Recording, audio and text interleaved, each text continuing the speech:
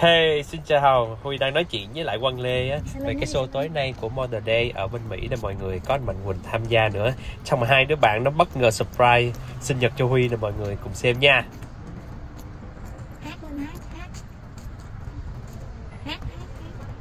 Happy birthday to you Trời ơi Trời ơi xin chào mọi người, lại là Huy đây. Sinh nhật Huy cũng đã qua mấy ngày rồi mà bé Loan với lại bé Ngân. Loan là bạn thân của Phi Nhung mọi người và bé Ngân là một fan của Phi Nhung ngày xưa. Mà qua Mỹ á thì lần đầu tiên hai người này cũng uh, dắt Huy đi chơi và dắt Huy uh, cũng đi ăn uống, tham quan nước Mỹ cũng rất là nhiều và Loan là người dắt Huy đi nhiều nhất ở đây đó.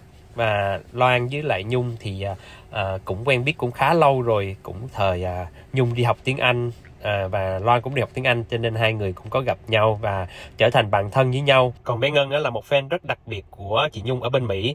À, Huy còn nhớ như lúc mới qua Mỹ thì gặp à, Ngân ở trên lót thì Ngân đi xuống rồi Ngân xin CD và Huy là người mang CD ra để à, đưa cho Ngân. Và sau đó là mấy chị em cũng thân thiết mỗi lần Nhung qua Mỹ thì là thường hay đi ăn đi chơi. Và Huy còn nhớ là live show kỷ niệm 25 năm của Nhung ở Long Beach á, thì là à, Ngân á, với lại Loan cũng rất là chăm sóc cho Nhung và à, tình bạn và tình chị em thân thiết tới giờ luôn. Và Huy cũng thường qua nhà Ngân với lại Loan hay à, nấu ăn rồi à, hát karaoke chung mọi người còn nhớ không? Rồi sau đó buổi chiều về thì à, Huy tắm rửa thay đồ và đến với live show của Quang Lê. Có anh Mạnh Quỳnh ở đây mọi người.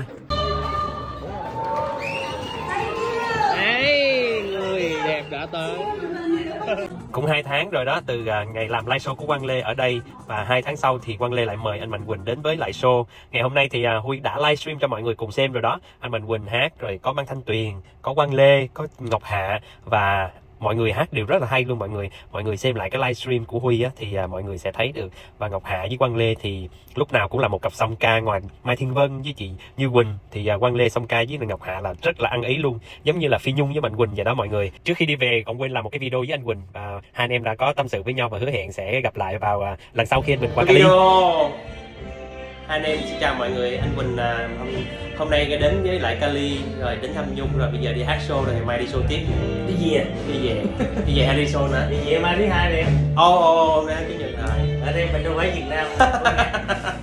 Ok bye bye anh. Chúc anh à, một chuyến bay thượng lộ bình an. Ok. Hẹn gặp Sao đi lại bữa nay là anh xuống thăm ờ, nhưng mà không gọi em tại em biết em đi làm đúng không? đúng rồi em tính tiệm á. Khi nào qua nhớ lên tiệm em nha. Ok. lần sau. Ok bye bye anh phần cuối là Quang Lê có mời lên sân khấu để hát Happy Birthday luôn nè mọi người Happy birthday to you. Happy birthday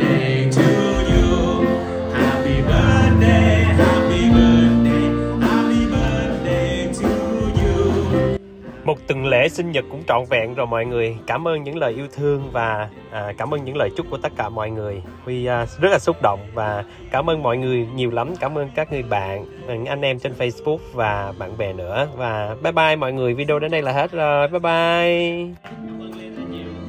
Rồi, chúc mừng sinh nhật nha.